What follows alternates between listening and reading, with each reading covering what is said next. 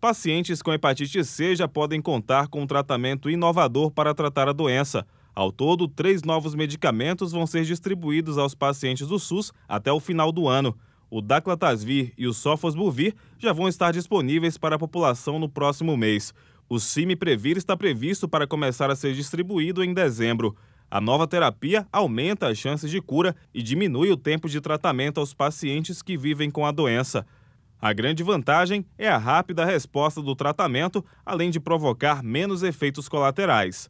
Enquanto o tratamento anterior era por via injetável, que durava 48 semanas, quase um ano, essa medicação é oral e nós usamos uma média de apenas 12 semanas.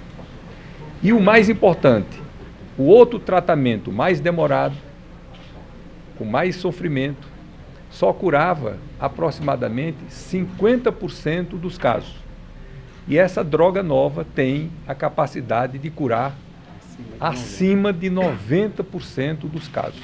Pacientes com HIV, cirrose descompensada, pré ou pós-transplantados ou os que não se curaram com o tratamento anterior também poderão usar os três novos medicamentos. No Distrito Federal, o Daclatasvir e o Sofosbuvir já estão sendo distribuídos.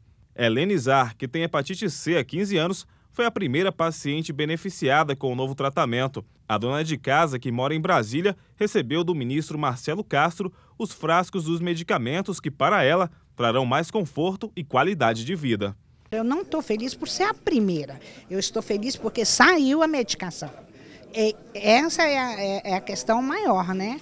Tem que sair a medicação para todos. Já tem bastante tempo que a gente vem lutando para matar o vírus da hepatite. Agora existe tipo A, tipo B e o subtipo de vírus que eu tenho não é fácil de matá-lo, mas ele vai morrer agora. Agora ele morre, né? E vai me deixar em paz. Além da Helenizar, 30 mil pessoas serão beneficiadas nos próximos 12 meses com a nova medicação. O investimento total para a oferta dos três medicamentos no SUS foi de 1 bilhão de reais. Até agora, 11 mil pacientes já foram cadastrados para receber o novo tratamento.